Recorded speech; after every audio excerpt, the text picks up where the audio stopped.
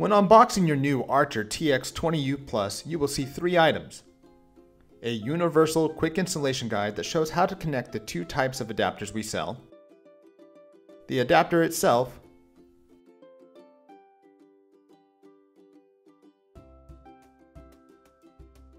and a 1 meter USB 3.0 extension cable.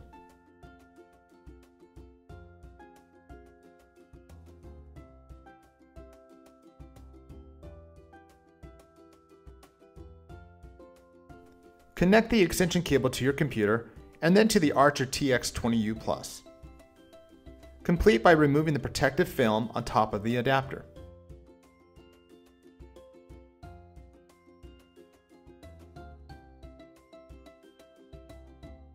New for TP-Link adapters, the driver will be preloaded on the adapter itself. When connected, a window will open on your screen. Double-click on setupinstall.exe to begin the setup process. TP-Link drivers are not digitally signed, but are safe to use. Please wait for the installation process to complete.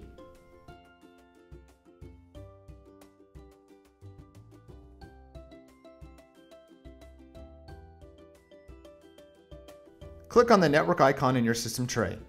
Find your network SSID and click on it. Click on Connect, type in your network password, and click Next. You may be asked to make the PC discoverable on the network. Answer this question to complete the connection. You can click on the network icon in the system tray to confirm connection.